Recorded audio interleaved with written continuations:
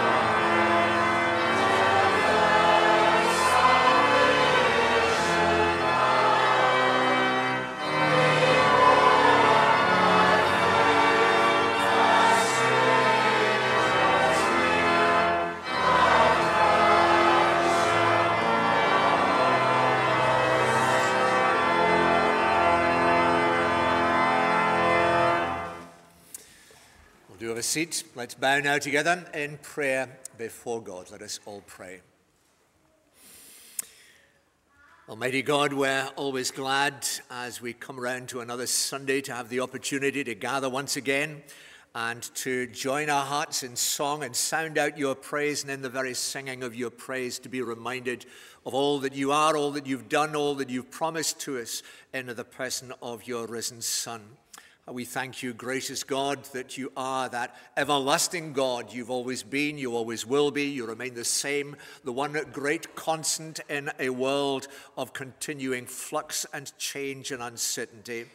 And how glad we are that this is indeed your world. You made it, you run it, and in the love that you have for it, you have come to it in the person of your Son, our Lord Jesus Christ, in order to address the deepest needs that we have and to resolve all the issues that lie before us. We thank you that you are indeed wonderfully wise. We praise you for your goodness and your greatness. We praise you that you are a God of enormous power. There is nothing that is too hard for you. We're glad of that because often we find our circumstances such that it feels like we're banging our heads against a brick wall, able to get nowhere, seeing no solutions.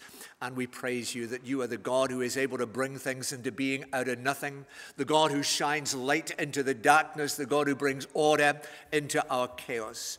And we're therefore glad once again to repair to yourself, to humbly come before you and bow and acknowledging our need of your forgiveness because all of us have got it wrong in our lives. We make a mess one way or another. We sin against you. We. Uh, and in the words that we say, the things that we do, the choices that we make, the attitudes that we adopt, in countless different ways we sin against yourself.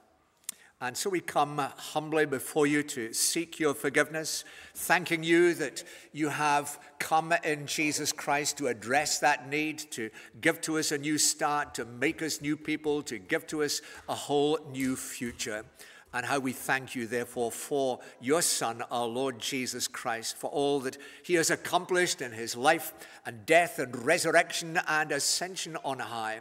And we thank you, living God, that through what he has done, forgiveness is now made possible through the work of your Holy Spirit. That's been applied to our lives that we may enjoy that forgiveness and know that friendship with yourself. And we'd ask simply for the help of your Holy Spirit as we join in worship this morning, that it may in all regards be pleasing and honoring to yourself. And we ask it all through Jesus Christ, our Lord and Savior. Amen. When we turn to the scripture, uh, Roger is going to come and read the scripture for us, and uh, it's from Romans chapter 8. You have the words on the screen. Roger's going to come and read.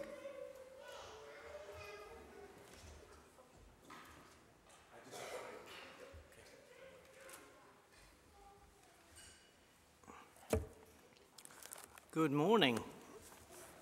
Our reading today is from Paul's letter to the Romans, and it'll be chapter 8, verses 18 to 21.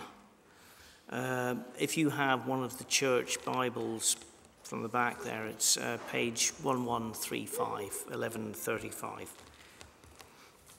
Hear the word of the Lord. I consider that our present sufferings are not worth comparing with the glory that will be revealed in us.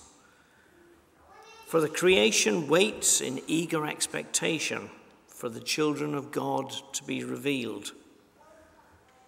For the creation that was subjected to frustration, not by its own choice, uh, but by the will of the one who subjected it, in hope that the creation itself will be liberated from its bondage to decay and brought into the freedom and glory of the children of God.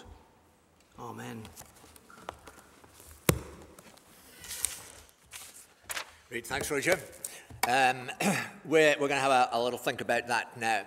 And we're going to start with this, and I, I wonder if any of you know what that is called, what these are called. Do you know what that's called? What is it called?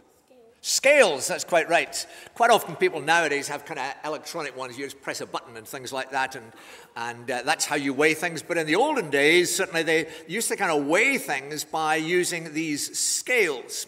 And it's that sort of thing that Paul is on about um, in the, the verses that Roger read. And what he's doing is he is kind of weighing two things together.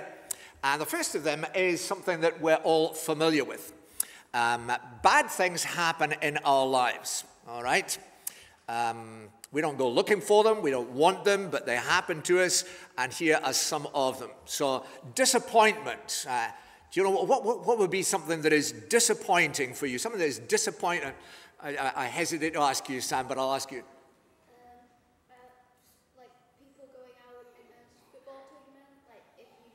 That's, that's putting it nice and politely, yeah. Um, uh, people going out of a football tournament, all right? And um, we, we needn't dwell too much on that because some countries have already gone out of the tournament and it's kind of disappointing.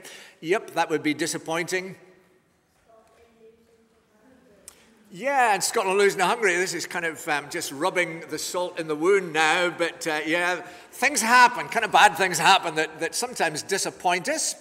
Uh, sometimes we come up against people who are bullies or who don't like us and who make life hard for us and who kind of say things that uh, kind of hurt us and uh, can hit us and things like that. And sometimes you come across people like that and it's, that's not nice. We, we don't like things like that that happen. Sometimes we get sad and uh, all sorts of things make us sad, not just football related things, but they can make us sad as well. Uh, all sorts of things make us sad, and sometimes it's, it's just really, really sore. Uh, the, the sadness that there is. Sometimes we get ill and we feel rotten. And uh, you know, any of you been ill in the last couple of weeks? And you've been ill, some of you have been ill in the past couple of weeks. It's not nice when you just kind of got a sore head and you feel rotten and you feel a sore throat or you've got a cough and, and you just want to kind of crawl under your duvet and, uh, and just uh, uh, go to sleep and things like that. You feel rotten like that. And um, none of us like being ill. And uh, sometimes we, we have, along with the illness, we get a lot of pain, we get uh, hurt, we get bruises, we get cuts and uh, things like that. And uh, that can be pretty sore, and none of us like the pain either. And, and all these things Paul is writing about, he says, uh, in this world, um, a lot of bad things happen, and he packages them all together and uses one word, that is the word suffering, kind of puts them all in a big bag and uh, puts them into this bag and says, uh, Our present sufferings. And there's a whole load of stuff that uh, we don't like, bad things that happen, disappointment, uh, enemies, illness, pain, etc., etc., and put them in a bag. And what's going to happen if you put that bag on the scale? What's going to happen? Any ideas? What is going to happen? You put that bag on the scales. Uh, Matthew, what's going to happen? It's going to go like that. That's right. Let's have a look. See, um, that's what happens. It's going to weigh it down because uh, uh, a lot of bad things like that all packaged there. One disappointment after another, one illness after another, one pain after another, one sorrow after another. Um, uh, you put them all together. Think, whoa, what a weight this is. It's just kind of weighing down on us like that. And, and so it kind of is, is a pretty heavy thing to have to cope with in our lives like that. He's saying, yeah, uh, that's what happens. Uh, bad things, um, they, they kind of feel like a, a weight that just press on down upon us. But he's saying we also need to think about the things that are going to be coming. And uh, that's what he then goes on to. There's a new world coming. Uh, we're going to get a new body.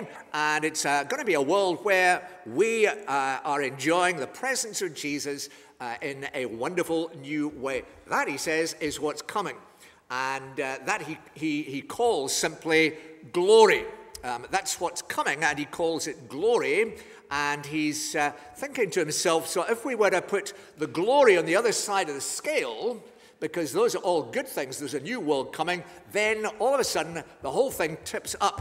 And what he's saying is that the glory that is to come uh, the, the new world that God is going to bring into being, the new bodies that we're going to have, the presence of Jesus with us all the time. We're going to enjoy being with Him and serving with Him and doing things with Him and, and sharing it with the whole company of God's people forever and ever because we're not going to uh, get tired, we're not going to get old, we're not going to, uh, to uh, have any sort of pain or anything like that. We're going to be able to enjoy that. And He's saying that, that completely outweighs all the suffering that there might be in the present world. And that's what he's on about there. And so he's, he's reminding us that the glory that is to come, and we'll bring the next picture up for you, the glory that is to come is infinitely better than what uh, we presently have to endure and what we have to suffer. And, and that's what he means us to understand that although things are sometimes really hard in the here and now, uh, we have to keep reminding ourselves that, that something better is coming. God has promised that something better is coming. He will make sure it does come like that, and it will be absolutely wonderful. What uh, the Bible calls glory, and, and that's, that is the, the biggest thing of all, the best thing of all, and uh, a new world, new bodies, and above all, we have Jesus himself present with us. And the song that I thought we would sing, therefore, before you head off out to, to Sunday school this morning, is a song that reminds us of that and invites us all to come and enjoy uh, being with Jesus in the here and now, leading on to what is to come. Come on, come in, everybody. Let's uh, sing this to God's praise.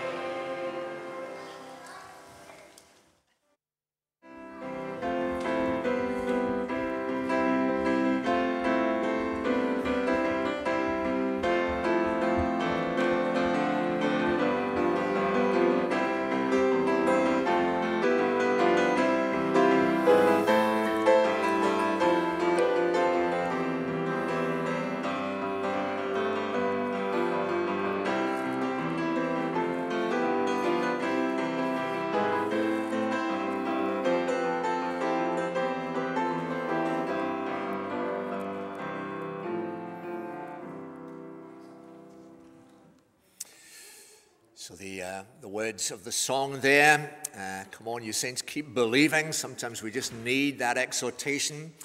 Uh, we need Sunday by Sunday to hear God speaking. And always it is pointing us forward and saying, whatever the present may be, uh, God has in store for his people something that is altogether better. Let's then join in prayer as we continue in our worship. Let us pray.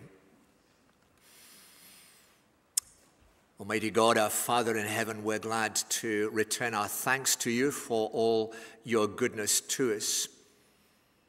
Glad of the opportunity simply to pause in lives where often we're, we're that busy and so many other things occupy our time, so many other things as a distraction to us, that we fail to recognize the countless different ways in which you intimate to us your care for us, your knowledge of us and your desire to do us good.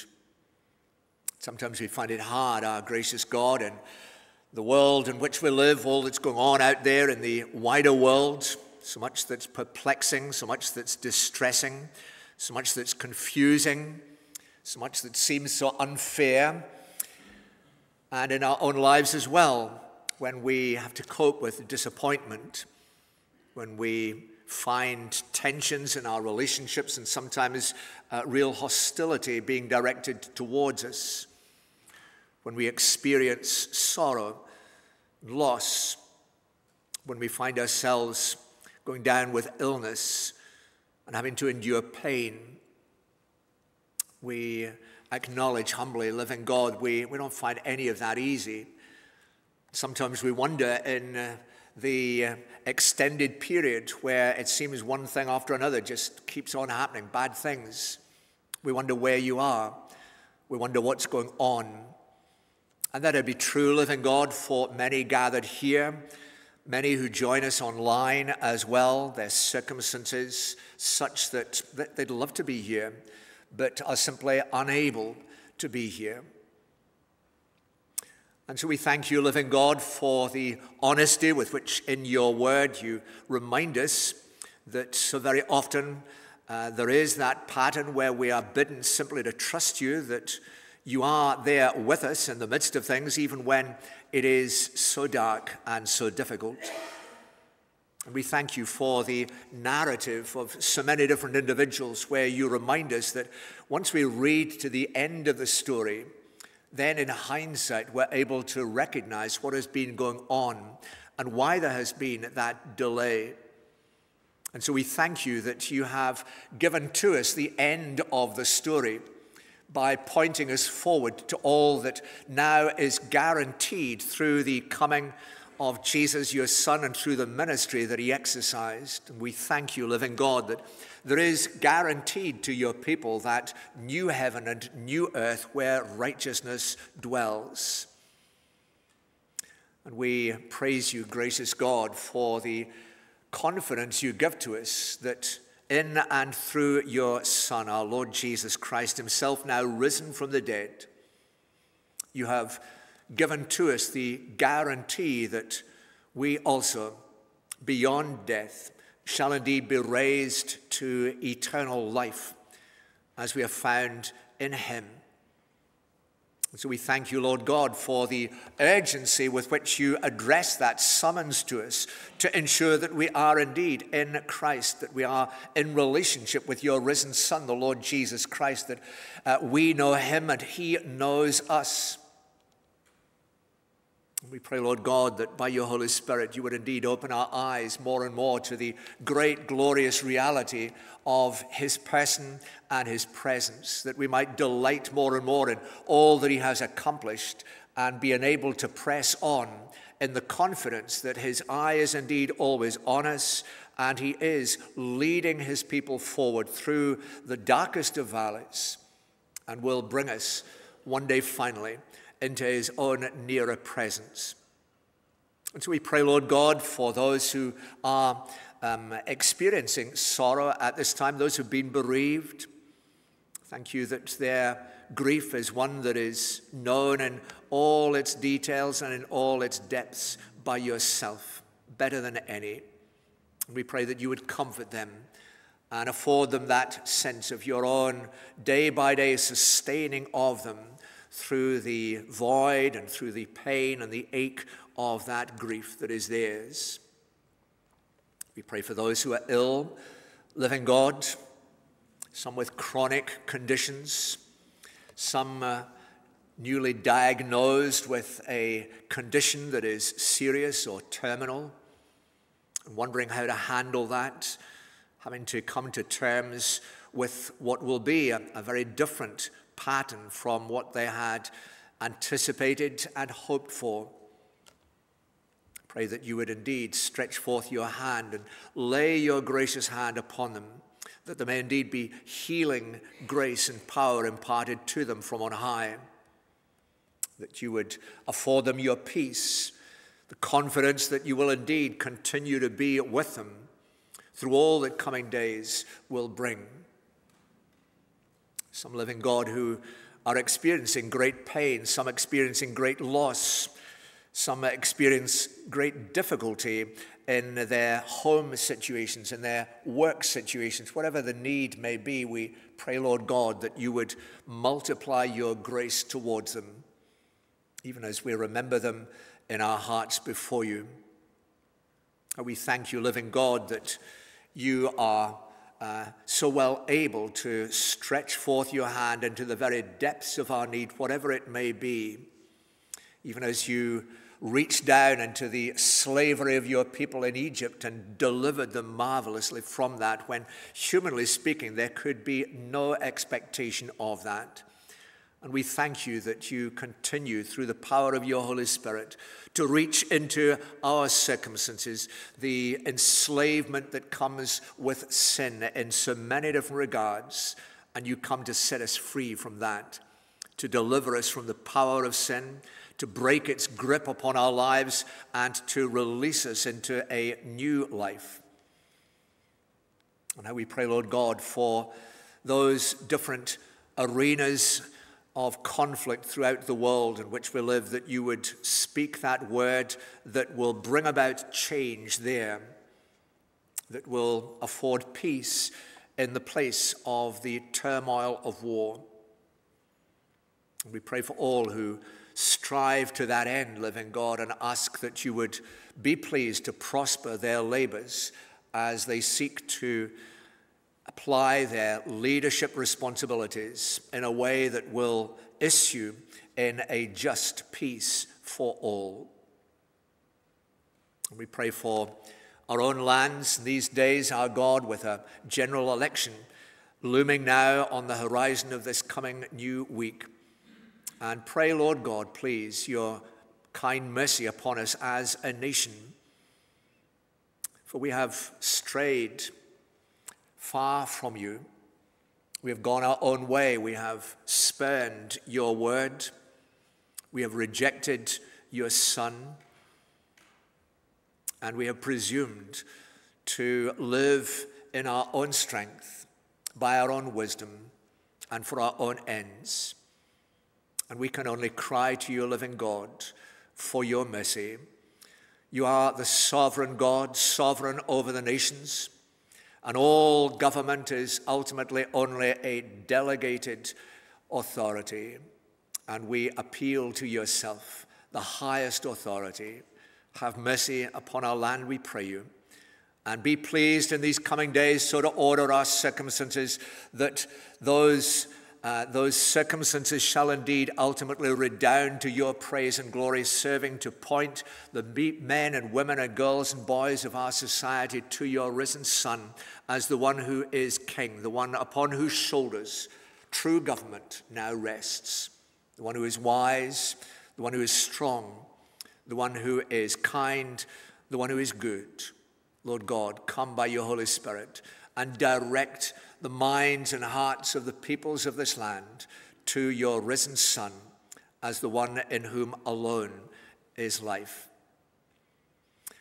We pray, Lord God, that as we turn ourselves to your word this morning, you would speak through your word by your Spirit to each of our hearts and apply its truth to our lives in a way that will be to your glory and will issue in transformed living.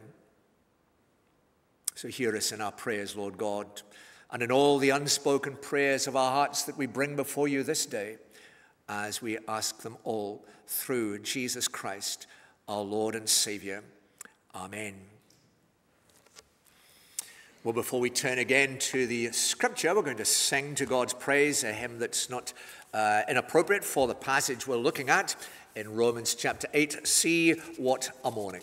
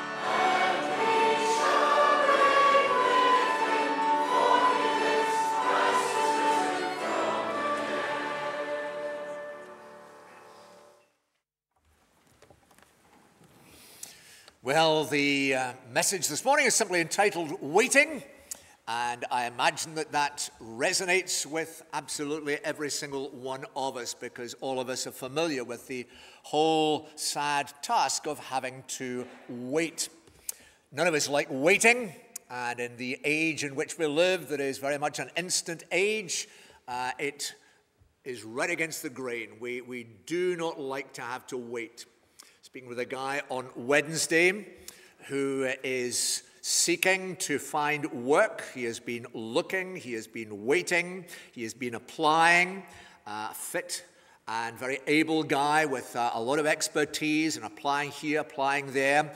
And in the course of the past year or so, uh, 612 applications, and 612 applications come back negative. Uh, he informs me this morning it's now up to 620. And, and that's hard when you are, you are trying this door, trying that door, trying the next door, and you are waiting uh, to see some door opening and wondering as you apply and as you wait, wondering whether, whether God has actually forgotten about you at all.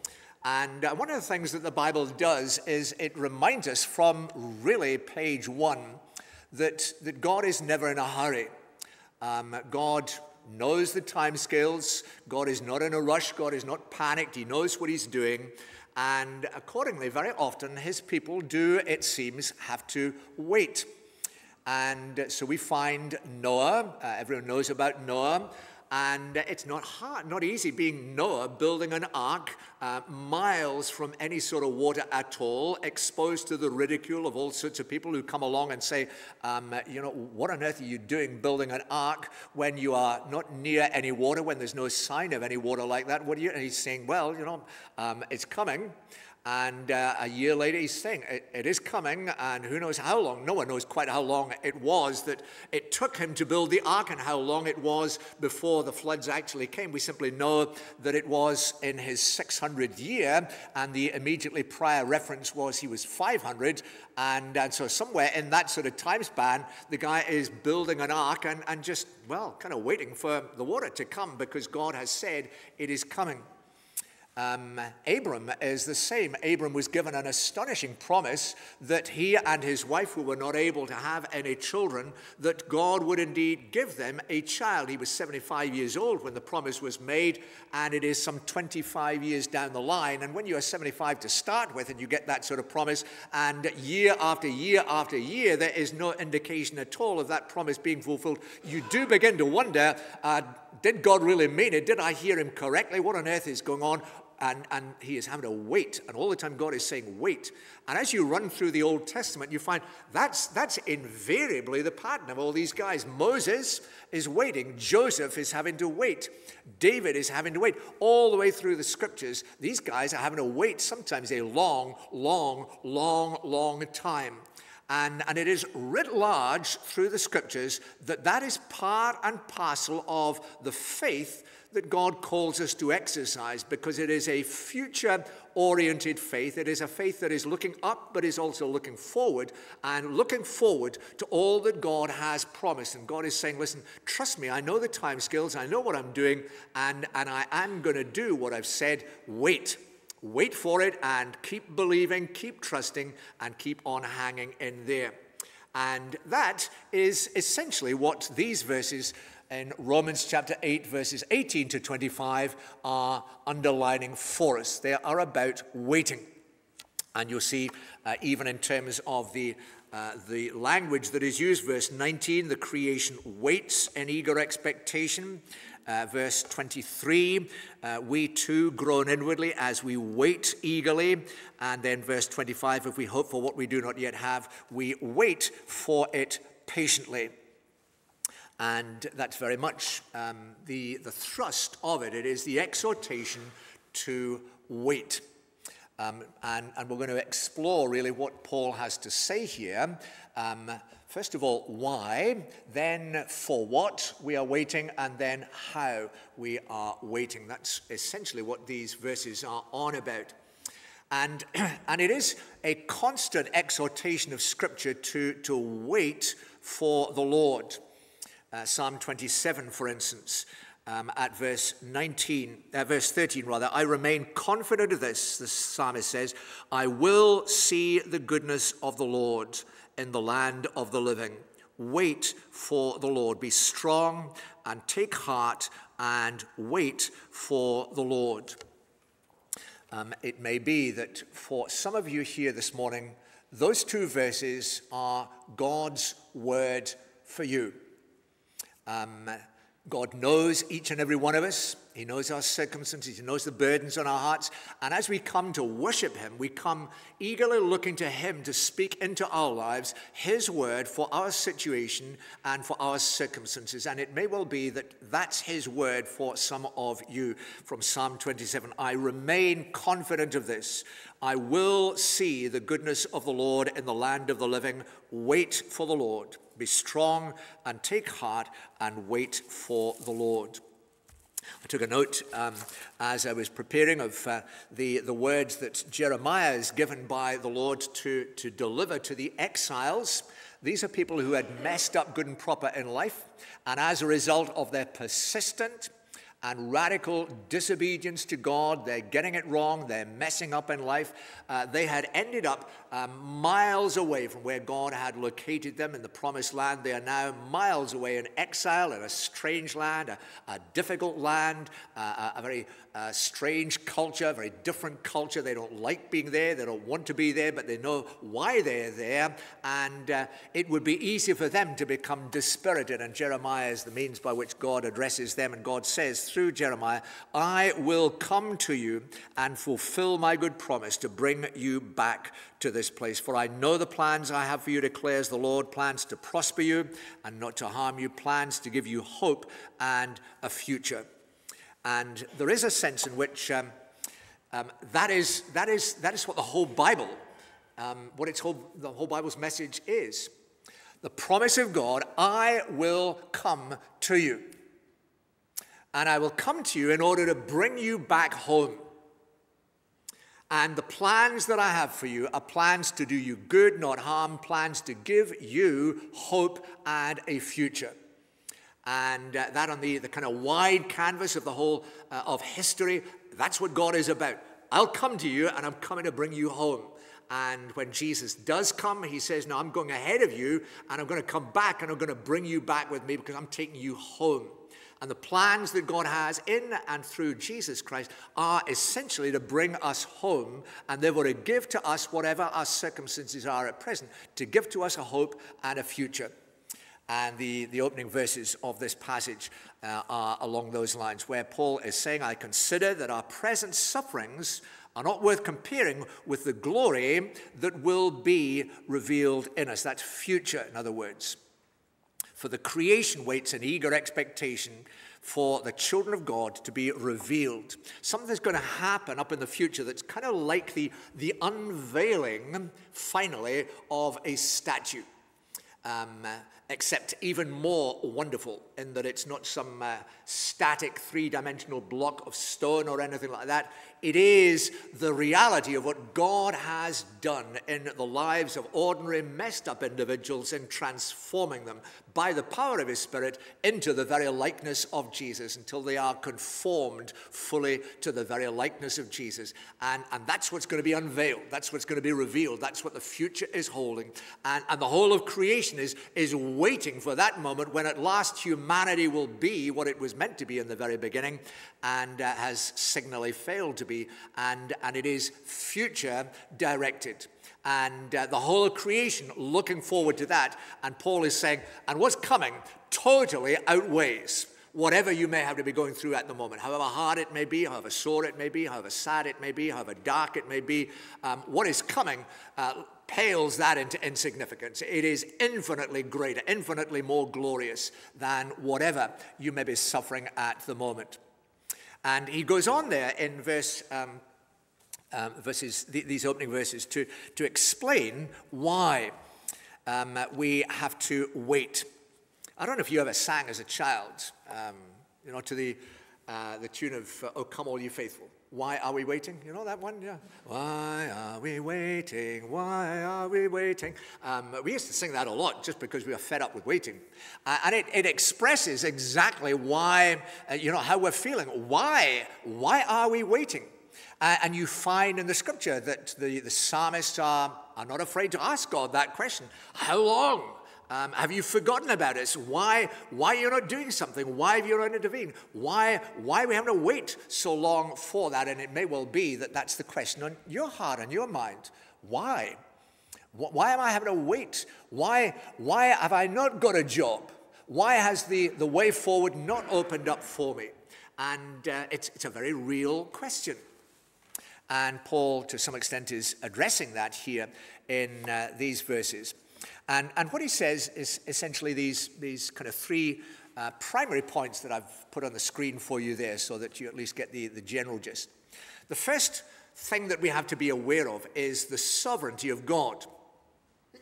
Um, what is going on in history, what is going on in, in the history of our lives, is under the sovereignty of God. The creation was subjected to frustration, not by its own choice, but by the will of the one who subjected it in hope. That's to say, there is a God who is ordering the circumstances of history a God who knows what he's doing, a God who has a plan, a God who is not making it up as he goes along, but a God who from all eternity had a plan that was altogether glorious and altogether great, that found its focus in the person of his son Jesus, and will issue one day in a new heaven and a new earth where righteousness dwells, that will leave us and the whole of creation saying, Wow!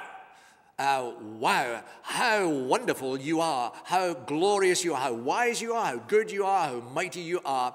Um, and, and God knows what He's doing. The sovereignty of God, the creation was subjected by that God who knows what He's doing. So that's the first thing to bear in mind. There's a God who orders our circumstances. And even if you haven't a clue what is going on, He does. He knows what He's doing.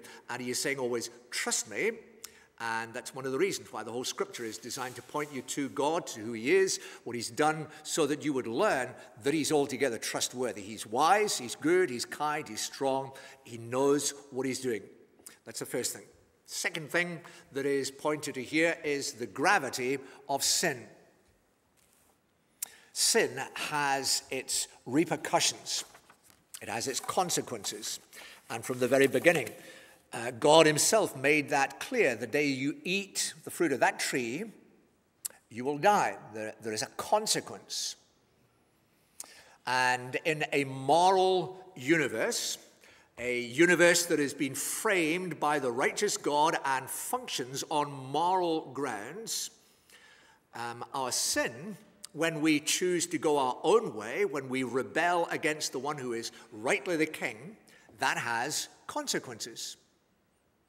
And the consequences are uh, spelled out in these verses here in terms of, first of all, frustration. That's part of the consequence of sin. You go your own way, it doesn't work because it's not God's way.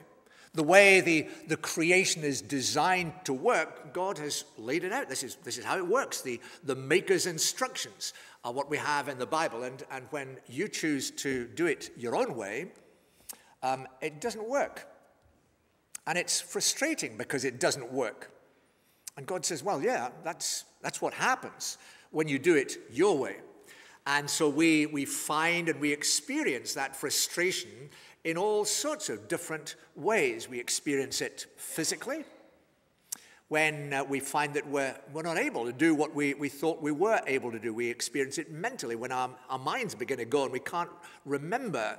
You know, we, we kind of knew what the person's name was yesterday, and for the life of me, I can't remember what the person's name is. I, I, I, I woke up through the night last night and I was, I was madly trying to think of, of someone's name. And I, I, I, knew exactly what the name was um, yesterday, and blow me, could I, could I remember what the, the person's name was? And I was, I was kind of thinking, how on earth, how could I have forgotten what it is? And, it, and it's frustrating when you, you know who the person is, and yet you, you can't locate them. Um, we experience that frustration relationally, we experience it vocationally, we experience it in the context of our work, in the context of our relationships with others. We experience frustration in all sorts of different ways. Uh, we're disappointed by other people, disappointed by our circumstances. We are frustrated. And don't tell me that that's not a common experience. It may well be exactly how you are this morning, frustrated to the point almost of exploding with frustration.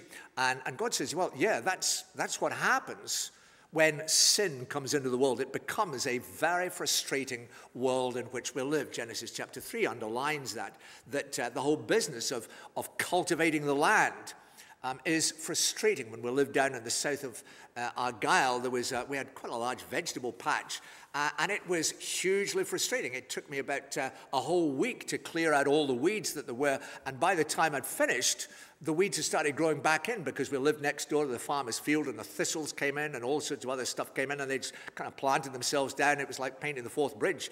Uh, it, it, just was just an ongoing thing. It was hugely frustrating trying to, trying to cultivate that small little patch of land to make something grow out of it. And, and it is frustrating. That's the first word that Paul uses here to describe the gravity of sin. Um, the world in which we live has become a complicated world, it's become a frustrated world. The second word that he uses is that of enslavement or bondage, the bondage to decay. Uh, you see there towards the, uh, the end of the, uh, the, the, passage that uh, Roger read. Verse 21 will be liberated from its bondage to decay. Um, that's part and parcel of what sin does in the world. Not only does it bring frustration, it also brings an enslavement. And so we, we become trapped by and enslaved to patterns of conduct that are, that are themselves damaging um, and very easily become addictive and addictions that get us in their grip and it is, it is extremely difficult to break out of them. Um, it is a bondage. So you have frustration, you have enslavement, and you have disintegration or decay. Um, and there is something essentially disintegrative. That's to say, it, it, uh, it uh, pushes things apart, breaks things apart in uh, the, uh, the, the direct contrast to the living God who, who brings things together. Sin is disintegrative. And, and, those are the three terms that Paul uses. That's the world in which we live that is marked by frustration, enslavement, and disintegration. And uh, that's the, the kind of second part of the reason why uh, we are called upon to wait. God is, is, is having to fix something that is seriously broken and flawed. Um, I've, I've told you before um, the, the, the narrative of an experience I had when I was uh, a student at university back in 1972, it must have been. And, uh, and I was playing football one evening, and um, I, I, got a very bad tackle um, just on the, you know, the, the kind of nice summer's evening in June 1972, playing out on the meadows in Edinburgh with a whole crowd of, uh, of guys, and it was a serious tackle. I mean, the guy meant business. And, and I thought the moment he, he tackled me, I thought he's broken my leg. It was that, that sharp a pain. Uh, I realized um, fairly rapidly I hadn't broken my leg because I could stand up and things like that. And, and it was just a, a, a nasty bruise. But six weeks later, out of the blue, uh, one evening, it started throbbing, and then it started swelling, and then it kept on doing both of those things that evening in a way that became excruciatingly painful um, getting bigger and bigger and more and more painful until I was crying my eyes out quite literally and, and crying out in agony. And the doctor comes and, and takes a look at it and he says, Well, I'm not going to do anything. And I say to him, You are a doctor. That's your job. You are meant to do something. He said, No, I'm not, I'm not going to do anything at the minute.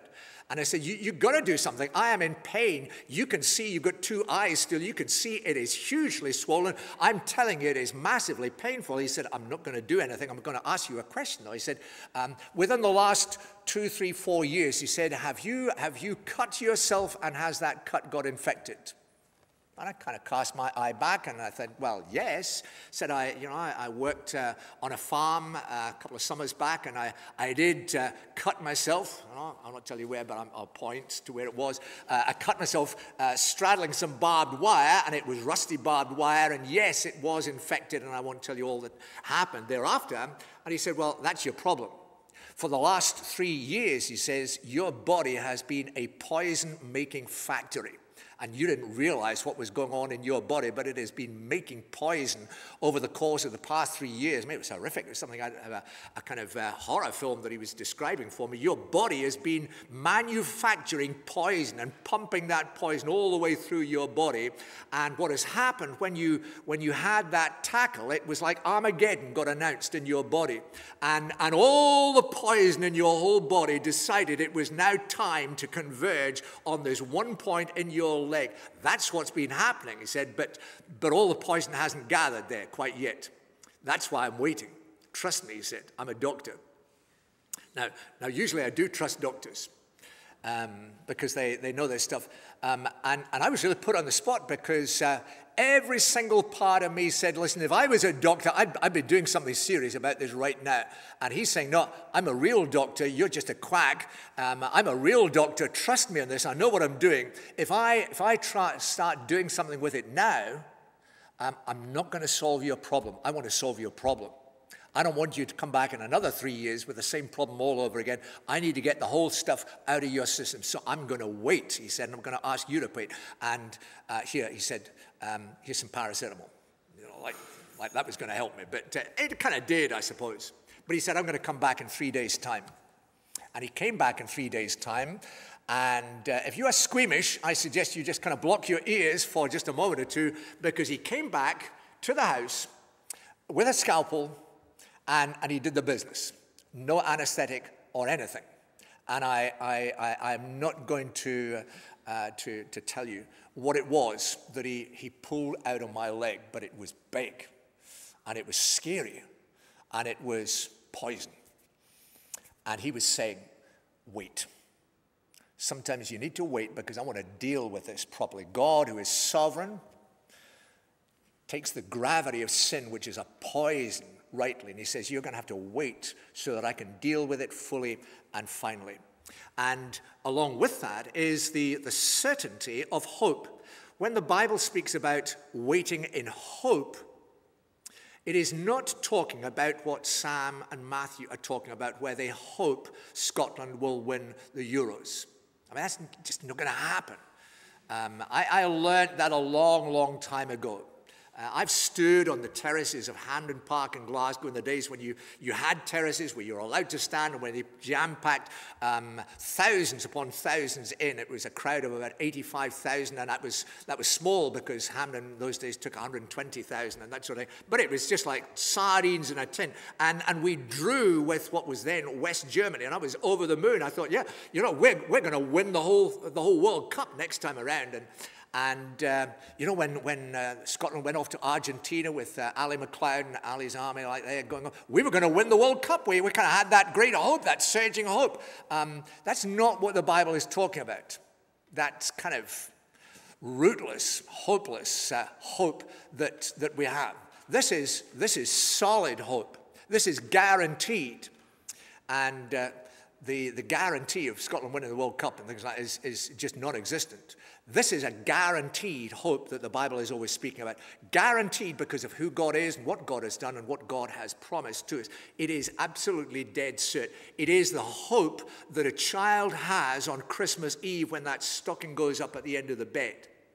That's the sort of hope that it is. That stocking is going to be filled. And when they wake up at two o'clock in the morning, they, they see that it's there. They know that it's there, but they, they don't know what's inside it. They, they haven't got their hands on it, but they, they know that it's there. And they are hoping uh, that, uh, that there will be in the morning something good. And, and it's that sort of hope. They, they know that there will be that. Now, that's what verses 18 to 21 are on about. Uh, the reason why we have to, uh, have to wait. The sovereignty of God, He knows what He's doing. He's ordering all things well uh, in the context of the gravity of sin, where it is a serious, serious problem, poison in the system of the world. And, and God has said, But trust me, trust me. Uh, I know what I'm doing, and I will deal with the whole thing. And verses 22, 23 then take it on and address the question of uh, for what are we waiting? And it's a good question. And uh, we didn't read it with the children, uh, but we'll read it now. We'll put the words on the screen for you. Uh, we know that the whole creation has been groaning as in the pains of childbirth right up to the present time. Not only so, but we ourselves who have the first fruits of the Spirit, that's to say, God has, has given us His Holy Spirit, so we, we know in some small measures, kind of down payment, a deposit that's been given to us, we have the first fruits of the Spirit, we groan inwardly as we wait eagerly for our adoption to sonship, the redemption of our bodies. Now, that's, that's um, Paul addressing the question of what it is that we are waiting for. What is it up ahead that is that big, that good, that it completely outweighs any amount of suffering in the here and now? And you don't need me to tell you that there is uh, that much suffering in the here and now in terms of the pain and the sorrow, the grief, the disappointments, the animosity, the hostility, the hurt, the turmoil, etc. There is that amount of suffering in the here and now. It is going to be pretty big, pretty good, in order to completely outweigh all of that because that's heavy stuff, the suffering that there is in the world in which we live.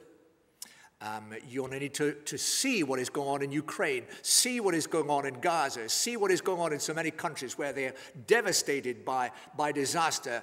They are ravaged by poverty, where uh, all sorts of, of wretched stuff goes on the cruelty that there is, the, the hostility that there is, the, uh, the tragedies that there are, the pain that there is in the world in which we live, quite apart from our own personal circumstances. It is heavy, heavy stuff that are present sufferings, and yet Paul says, uh, uh, that is as nothing compared to what is coming. That's really heavy, what is coming. That is, that is really substantial, really weighty. So we, we do well to ask, so, so what is it?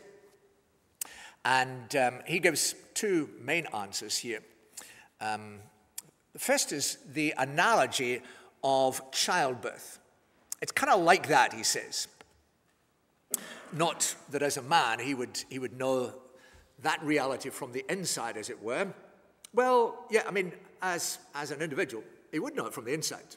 because all of us have been inside. And that's, that's the kind of point. Um, one of the things that I regret um, is that when I was an embryo in my mother's womb, I didn't have a notebook to be able to kind of write down what it, what it was like. Um, I just thought it was great. So great that I, I didn't kind of think about uh, there being anything any better at all. It was, it was warm, it was safe, there was food on demand, it was, you know, everything that a, a boy could look for and, and, and like. It was just wonderful. But I've, I've no particular recollection of it.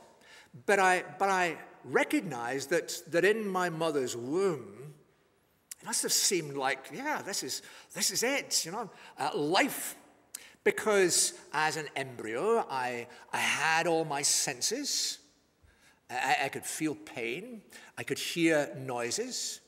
Um, and uh, I, I, I recognize that because um, um, I, I, remember in, in Edinburgh there was uh, a, a, lady who, who was pregnant and um, she would sit there with a child.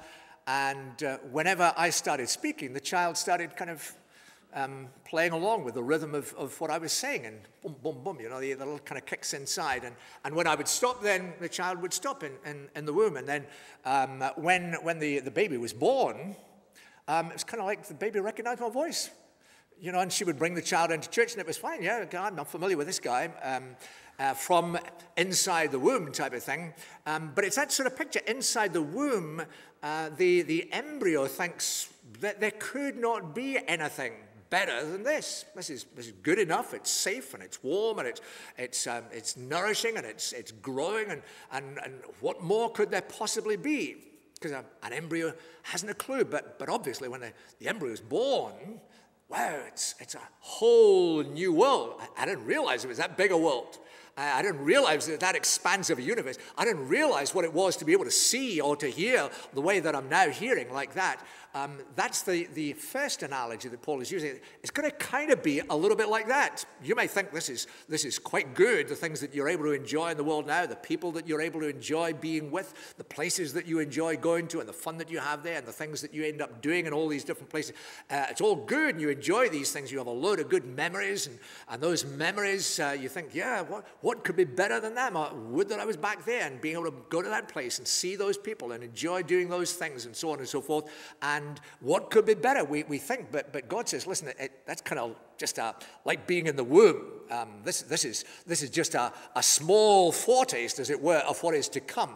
And all those places, all those people, all those memories that you have of those things that, uh, that you, you so enjoy, they are just really like a kind of mirror, a kind of dark glass in which you see vaguely what the future uh, is holding out for us.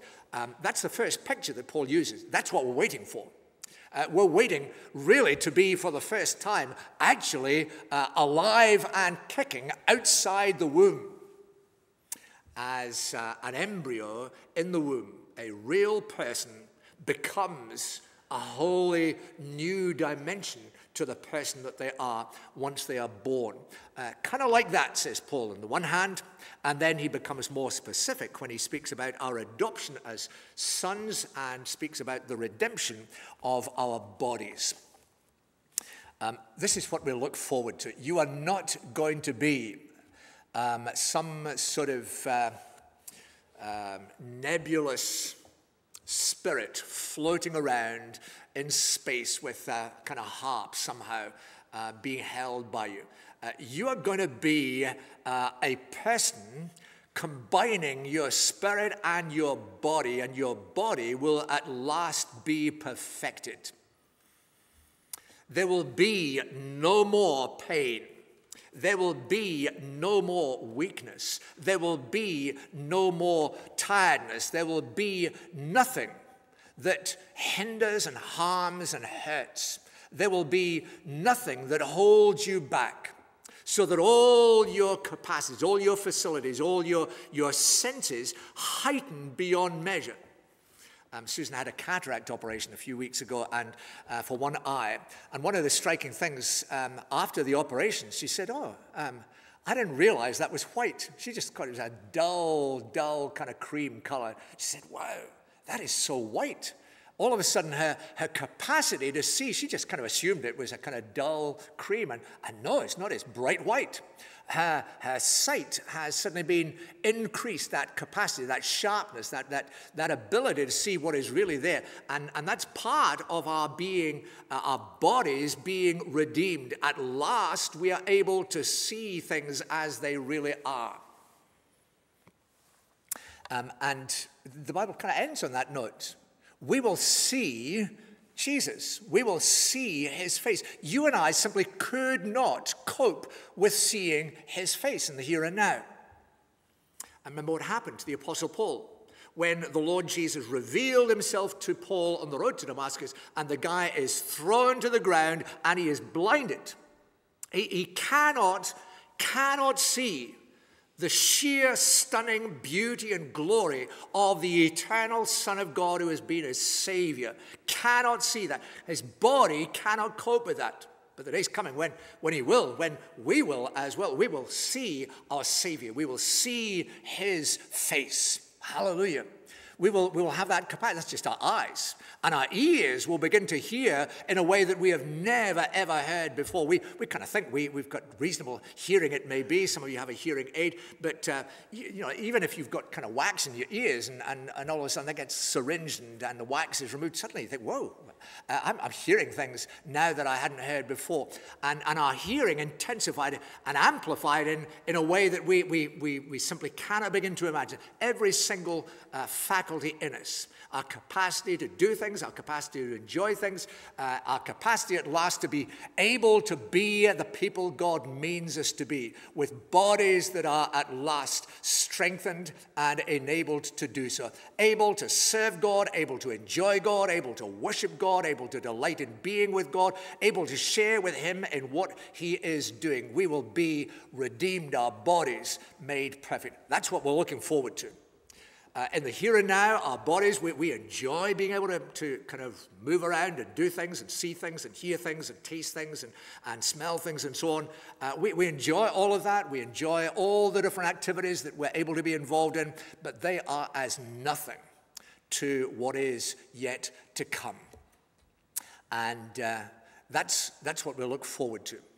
Uh, because, best will in the world, we, we do become stiff and we do become frail and we do become old, and old age never comes alone. And, and we, we experience frustration. And that frustration one day will become a freedom when our bodies are redeemed.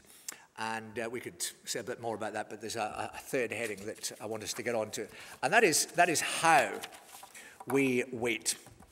Verses 24 and 25 uh, put them on the screen for you again. In this hope, we were saved. That's to say what he's just been talking about the, uh, uh, the redemption of our bodies. In this hope, we were saved. But hope that is seen is no hope at all. Who hopes for what they already have? But if we hope for what we do not yet have, we wait for it patiently. Now, I've put on the screen for you here that the way in which we hope is twofold. We wait, first of all, expectantly, because it is in this hope that we were saved. That's what we were made for. That's what God will effect in us. And that's what, what, what God has shifted all of heaven to secure for us in order that we might indeed at last be that. That's what it is to be saved. It's not simply to be forgiven. It's not simply to know that Jesus is kind of with us day by day in our lives. It is this big. It is being brought to enjoy at last a whole universe that has been renewed, where there is nothing out of place, a world that is marked by that utter, complete, total, comprehensive righteousness of God. Everything made right, everything uh, aglow, everything full of the splendor and glory and beauty and brightness of the living God. That's what we're saved to be a part of and fitted to be able to enjoy it. Made whole, made whole in body and in spirit, so that we are no longer always uh, falling short because of temptation. There will be no more sin, there will be no more sickness, there will be no more pain, there will be no more tears, there will be no more death. None of that at all no regrets, no uh, nothing that is going to interfere, nothing that is going to harm, impinge on the joy, the splendor, the beauty, the loveliness of it. We will be at last made perfect. We will be able to serve God with all our being, able to enjoy God, able to sound out the praise of God, to share with the whole company of God's people in a way that we have never countenanced before, able to see as we have never seen before, see the glory and the splendor and the beauty of our Savior who has died. That's what he came to do. That's what Jesus came into this world to secure for us. That's why he was born. That's why he lived as he did. That's why he faced the, the temptations in the wilderness and stood up that he might be one who lived a life of perfect obedience on our behalf. That's why he went to the cross. That's why he bore the agony and the darkness of the cross. That's why he was dead and buried in the tomb. And that's why he was raised to life and ascended on high in order that you and I might be saved like that that we might enjoy that. And that's why we are expectant. Because if God has already poured that much to invest that much in that salvation, you and I may be pretty sure that's what's coming. And it's that big.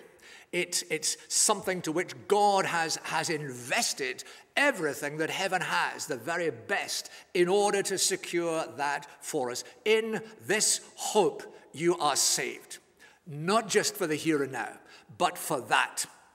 That which is so big, that glory that is still to come, a new world that is, is marked by righteousness, a new body, and a new enjoyment of the living God in the person of his Son beyond all measure. So we wait expectantly. It's coming. And we wait patiently. That eager expectation that is shared by the whole of creation is one that we have, but we also therefore wait patiently. And we wait patiently because of these two things. First, God has promised. God has gone down in black and white on any number of occasions to say, This is what I'm doing. And it's, it's not an occasional chance, random comment that God flings in. It is a clear, categorical promise that is made by God. That's what I'm committed to doing. And this God who makes these promises, he never, ever lies. He never ever fails to come good on the promises that he has made. Joshua, at the end of his life, chapter 23 of the book of Joshua, that's what he's saying. saying Joshua lived 110 years, so he's got a lot of experience behind him. He's, he's been in Egypt, he's been a slave in Egypt, seen the way God has delivered his people out of Egypt, seen the way God led them through the Red Sea, the way that God provided for them in the wilderness through all those 40 years, the way that God brought them across the River Jordan into the land of, of promise.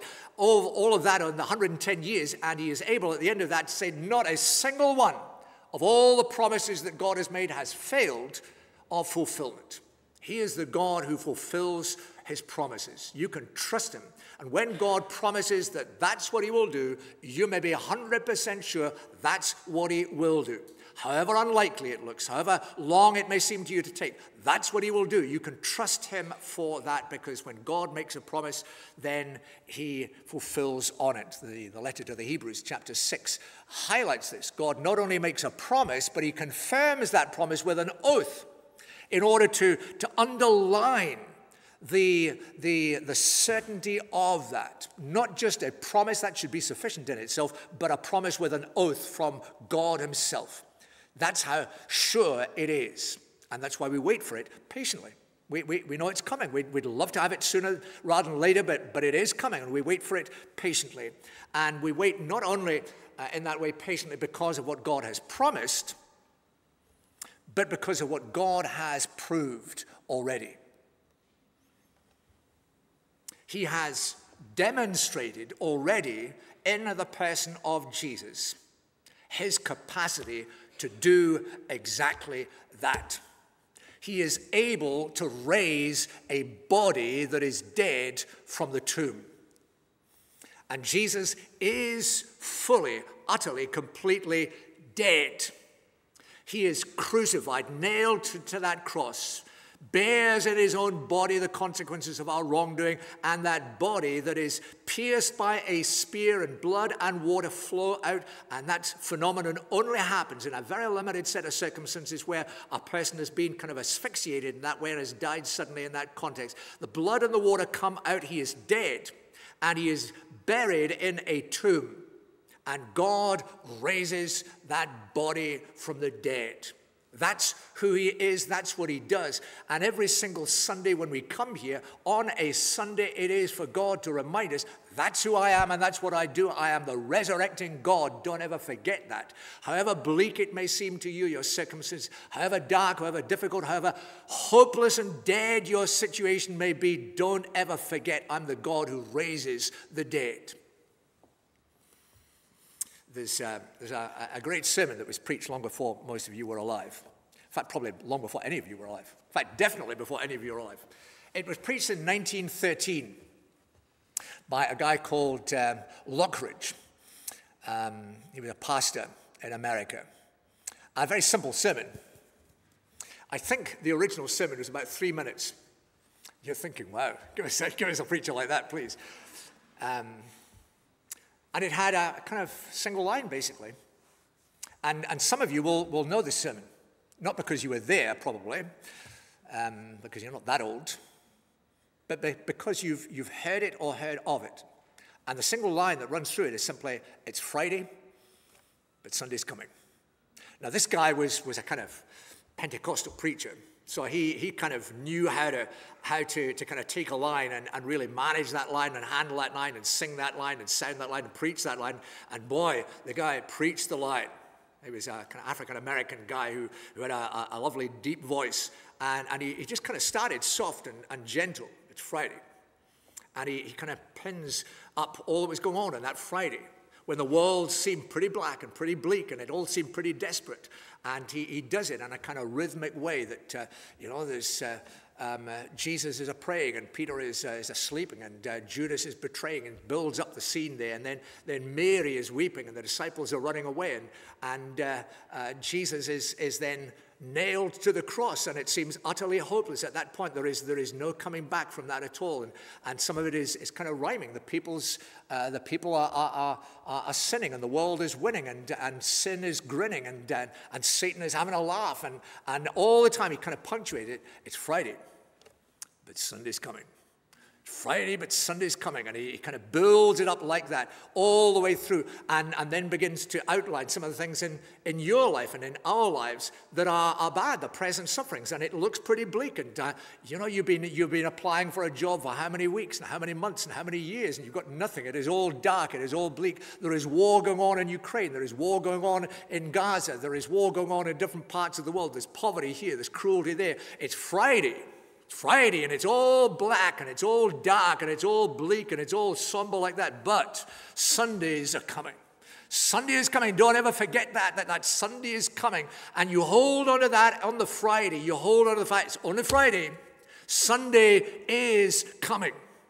And, and that, in a sense, is, is what the whole Bible is saying to you and to me always. It's Friday. Yes, I know, says the Lord, it is hard. I know that it's sore. I know that it's throbbing. I know that it's swollen up. I know that there is poison there in your body. But, but hang on in there. Keep on believing. Trust me, Sunday is coming. That day of resurrection is coming, and our present sufferings are not worth comparing with the glory that is to be revealed to us. And, and so hang on in there, wait for that. That's, that's what's coming. And so you wait expectantly and you wait patiently because it is coming. And however bleak and however dark the present may be, you hold on to that. Uh, whoever you are this morning. That's what Jesus has come to secure for all who trust in him. No matter what baggage you may carry, no matter how much you may have messed up in the past, no matter what the past may be, no matter what may be going on presently in your life, you trust in him, you place yourself in him, and he says, Now, I'm come, I've come to take you home. That's where we're going. That's where we're headed. Sunday is coming. May God bless his word to all our hearts. Father, thank you for for the promise of Scripture. Thank you for the, the rich, glorious, pulsing promise that you have made to us. Thank you for, for all that is held out to us. Would you help us when things are dark and difficult and bleak, and we, we wonder really whether, whether you even notice, whether you even care? Would you help us simply to keep on believing, trusting that a Friday is, is going to be followed by a Sunday, and that you will indeed put things to right. Hasten that day, Lord, we pray, please, and meet us in our need for Jesus Christ's sake. Amen. Well, as we close our worship this morning, let's join to sing together the, uh, the song, There Is a Hope That Burns Within My Heart.